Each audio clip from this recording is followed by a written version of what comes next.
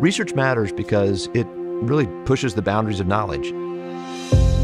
We don't always know when it's going to pay off. We're doing the work today that we may not realize the benefit from for, for decades.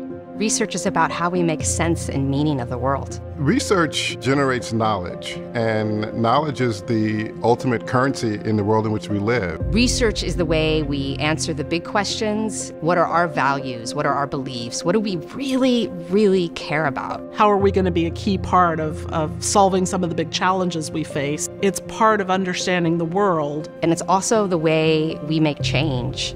UT is one of the very top public research university in the nation and internationally. There are scholars here that are doing groundbreaking work that is recognized on a global level. It's not about just writing up and publishing a paper and then writing a next grant.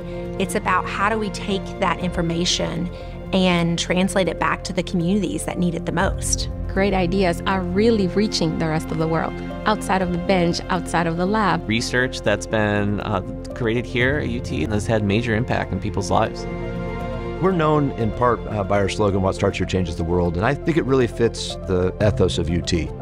We created the President's Research Impact Award to honor high impact, really important work that really changed the way we live, changed the way we understood the world, changed the way we think about things. It's something that I think speaks to our university's goals and ambitions to be the highest impact public research university in the world.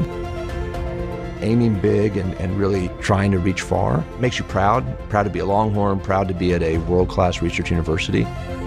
We are out there trying to do things that really make a difference, make an impact, and change our lives.